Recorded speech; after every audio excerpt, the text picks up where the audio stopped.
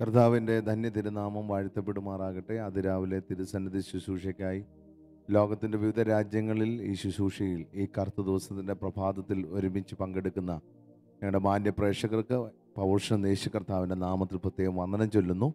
പ്രിയരെ ആയുഷിന്റെ ഒരു ദിനം കൊണ്ട് ദൈവത്തെ മഹത്വപ്പെടുത്തുവാൻ തിരുമുഖത്തേക്ക് നോക്കിക്കൊണ്ട് ദൈവിക അനുഗ്രഹങ്ങൾ പ്രാപിച്ച് ദൈവത്തെ മഹത്വപ്പെടുത്തി ദൈവസന്നിധിയിൽ നമുക്ക് ഒരുമിച്ച് ദൈവിക അനുഗ്രഹങ്ങൾ പ്രാപിച്ചെടുക്കുവാൻ ദൈവമായ കർത്താവ് ഒരുക്കുന്ന നല്ല ഈ സവൻ സമയത്തിനായി സ്തോത്രം ചെയ്യുകയാണ്.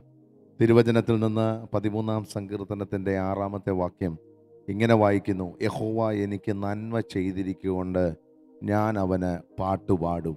പതിമൂന്നാം സങ്കീർത്തനം ദാവീദിന്റെ സങ്കീർത്തനമാണ്. ആ സങ്കീർത്തനത്തിൽ ദാവീദ് അവസാനമായി പറഞ്ഞ് അവസാനിപ്പിക്കുകയാണ്. യഹോവ എനിക്ക് നന്മ ചെയ്തിരിക്കൊണ്ട് ഞാൻ അവന് പാട്ടുപാടും.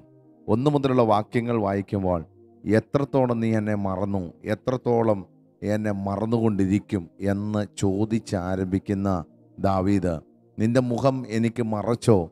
ഞാൻ എന്റെ ഉള്ളിൽ വിചാരം പിടിച്ചു. ആമേൻ. എന്റെ ഹൃദയത്തിൽ ദിവസം പ്രതി ദുഃഖം അനുഭവിക്കേണ്ടി വരും. എത്രത്തോളം എന്റെ ശത്രു എന്റെ മേൽ ഉയർന്നിരിക്കും. എന്റെ ദൈവമായ ഹോവയെ കടാക്ഷിക്കണമേ. എനിക്ക് ഉത്തരമറിയണമേ ഞാൻ മരണനിദ്ര പ്രാപിക്കാതിരിപ്പാൻ എന്റെ കണ്ണുകളെ പ്രകാശിപ്പിക്കണമേ.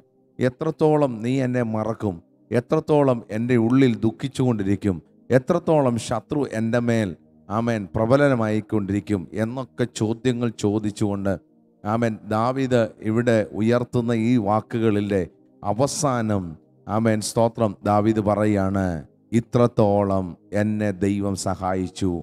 അതുകൊണ്ട് യഹോവ എനിക്ക് നന്മ ചെയ്തിരിക്കൊണ്ട് ഞാൻ അവന് പാട്ടുപാടും. ജീവിതത്തിൽ പലപ്പോഴും ദൈവം മറന്നുപോയോ?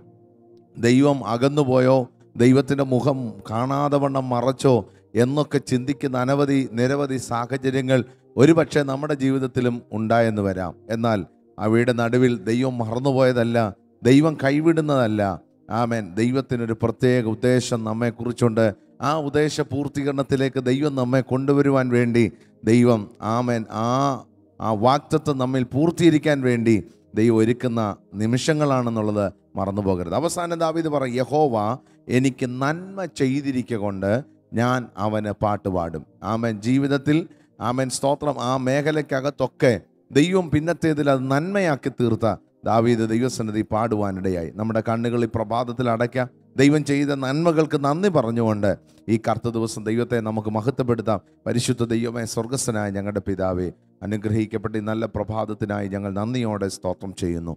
ഞങ്ങൾക്ക് ദൈവം ചെയ്ത നന്മകളെ ഓർത്ത് ദൈവത്തെ പാടി മഹത്വപ്പെടുത്തുവാൻ അവിടുന്ന് ഞങ്ങൾക്ക് കൃപ തരണമേ. ഈ ശുശ്രൂഷയിൽ അവിടുത്തെ സാന്നിധ്യം ഉണ്ടാകണം വചനപ്രഭാതം ദൈവം സന്നിധിയിൽ പാട്ടുകൾ പാടി ദൈവത്തെ മഹത്വപ്പെടുത്തുവാൻ ഇതിലുപരിയായി കർത്താവിന്റെ വചനത്തിൽ നിന്ന് കേൾക്കുവാൻ പഠിക്കുവാൻ ഞങ്ങളെ സഹായിക്കണം. പ്രാർത്ഥന ഘട്ടനായി സ്തോത്രം. യേശുവിൻ നാമത്തിൽ തന്നെ. ആമേൻ.